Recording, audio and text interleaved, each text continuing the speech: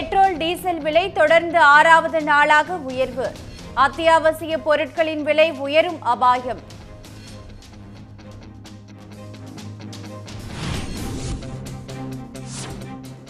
தமிழ்நாடு முழுவதும் ஐந்தாம் கட்ட தடுப்பூசி முகாம் தொடங்கியது. சென்னை உள்பட மாநிலம் முழுவதும் முப்பதாயிரம் இடங்களில் நடைபெறுகிறது.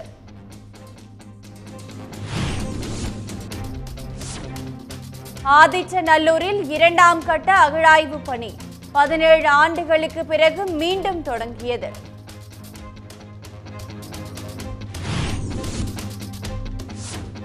தமிழ்நாட்டில் கோவை நீலகிரி உள்ளிட்ட மாவட்டங்களில் ஐந்து நாட்களுக்கு கனமழை. சென்னை வானிலை ஆய்வு மையம் தகவல்.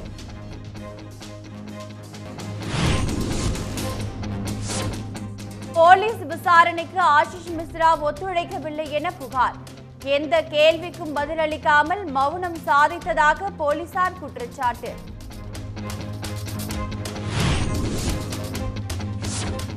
ஐஏஎஸ் ஐபிஎஸ் உள்ளிட்ட குடிமை பணிகளுக்கான முதல் நிலை தேர்வு. தமிழ்நாடு முழுவதும் முப்பதாயிரம் பேர் இன்று தேர்வு எழுதுகின்றனர்.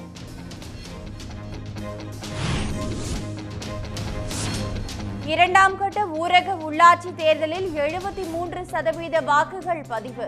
வாக்கு பெட்டிகள் வாக்கு எண்ணும் மையங்களில் பலத்த பாதுகாப்புடன் வைப்பு.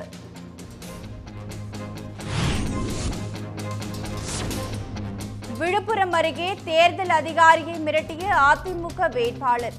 வாக்கு எண்ணிக்கையின் போது தாக்குதல் நடத்தப் போவதாக மிரட்டல்.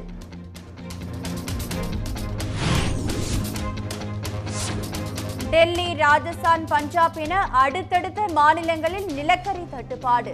மின் உற்பத்தி முடங்கும் நிலையில் சில நாட்களில் நிலைமை சீரடையும் என ஒன்றிய அரசு தகவல்.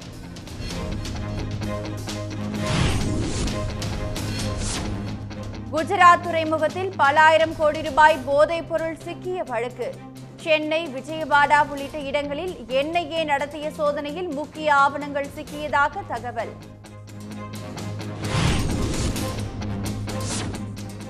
வாலையாறு வனப்பகுதிக்குள் சென்று வழி தெரியாமல் சிக்கி தவித்த போதைப் பொருள் தடுப்பு பிரிவினர். முப்பது மணி நேரத்திற்கு பின் பதினான்கு பேரை பத்திரமாக மீட்ட வனத்துறையினர்.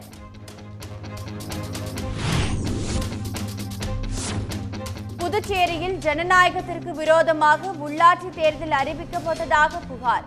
மாநில தேர்தல் ஆணையரை பதவி நீக்க கோரி எதிர்க்கட்சிகள் நாளை முழு அடைப்பு போராட்டத்திற்கு அறிவிப்பு.